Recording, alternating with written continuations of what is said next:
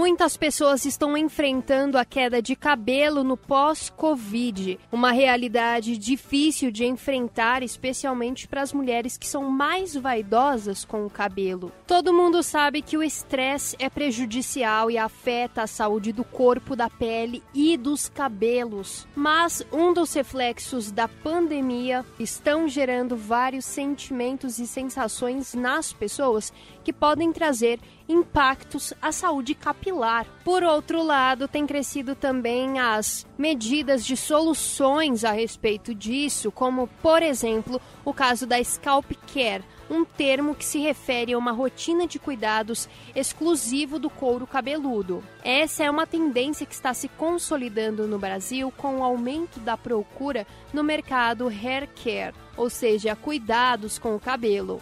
E para explicar como enfrentar essa queda de cabelos, hoje a gente recebe a médica nutróloga e ortomolecular doutora Fernanda Cortes. A queda de cabelo pós-Covid, ela é um eflúvio telógeno.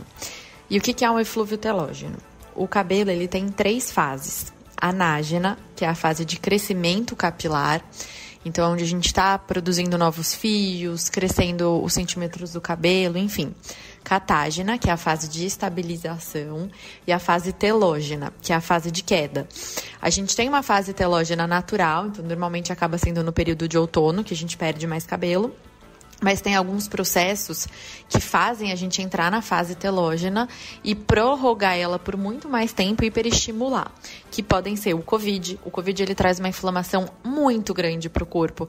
Ele traz morte celular, então o COVID ele atrapalha uma organela chamada mitocôndria, que é o que produz energia para a gente, ATP, que gera disposição. Por isso que também pode trazer essa síndrome pós-COVID, que é de cansaço, de fadiga e tudo mais.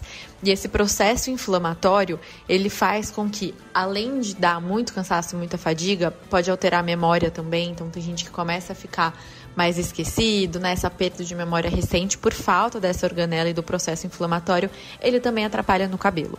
Então, pós-Covid ou quem teve uma cirurgia recente, operação, pode levar essa queda de cabelo, né, pós-cirurgia, pós-operação, quem faz dieta restritiva, quem está passando por um processo de hipovitaminose, isso tudo pode levar a gente passar pelo eflúvio telógeno.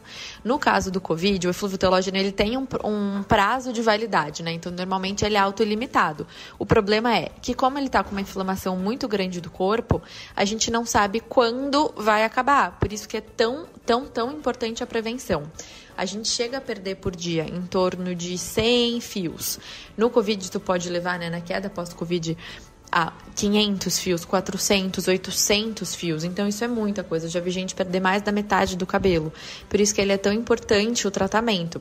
E tomar remédio via oral, é, essas gominhas, isso tudo não trata o cabelo. E quando a gente toma vitamina também, a gente só está nutrindo a haste do fio. Por quê? A inflamação do cabelo, ele tá numa coisa chamada folículo piloso, que é o que está dentro do cabelo, dentro do couro cabeludo, né, o bulbo capilar. E esse folículo piloso, ele é onde tem a vida do cabelo. Por isso que é necessário fazer as aplicações. Então a gente injeta medicações no couro cabeludo, porque eu consigo diminuir exatamente a inflamação aonde eu quero, que é no folículo piloso. Diminuindo a, a a inflamação ali, eu consigo brecar a queda e estimular nossos novos fios. Então, a gente faz aplicação de indutores de colágeno, é, que podem ser exinotrimente, silício, biotina, depantenol. A prescrição, ela só é feita depois de um, de um exame de sangue e de uma análise para saber exatamente qual é o melhor químico para aquele paciente. E a gente também acaba é, utilizando a terapia regenerativa, que é o plasma rico em plaquetas, em que a gente retira o sangue do próprio paciente, vai para uma centrífuga, a gente pega essa parte do plasma e ele é rico em célula tronco, fator regenerativo, colágeno, elastina, a gente aplica no couro cabeludo para diminuir a inflamação. É o melhor tratamento que tem, já ganhou o prêmio Nobel e tudo mais. Por isso que ele é super importante. Então, a pessoa teve Covid, é super importante já passar com o médico. Porque a gente vai tratar esse pós-Covid, a gente vai tratar, a, a gente vai estimular a disposição, a gente vai estimular o cabelo, a gente vai melhorar toda essa síndrome pós-Covid. Mas o eflúvio telógeno, ele tem cura e, e é super importante essa prevenção para também não, não deixar perder muitos fios. É, então aí é hora de buscar um especialista. É, o preço depende muito, assim, de, de qual produto é e tudo mais. Por isso que sempre tem que passar com o médico para ter um produto mais indicado. Mas tem tratamento, tem prevenção, é super simples, tá? Recupera muitos fios. E a alimentação é sempre bom a gente procurar uma alimentação anti-inflamatória e antioxidante, porque o Covid ele trouxe essa inflamação muito grande para o corpo.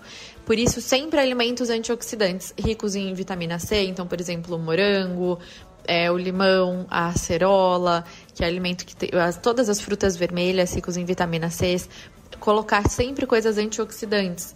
Então, a cúrcuma de manhã, é, canela de Ceilão, eu sempre indico um shot para meus pacientes, que é meio limão espremido, um pouquinho de cúrcuma, canela, gengibre, pimenta, pimenta, pimenta caiena, porque isso vai fazer diminuir a inflamação do corpo e procurar uma alimentação mais natural possível, evitando industrializado, refinado, açúcar, fritura, refrigerante.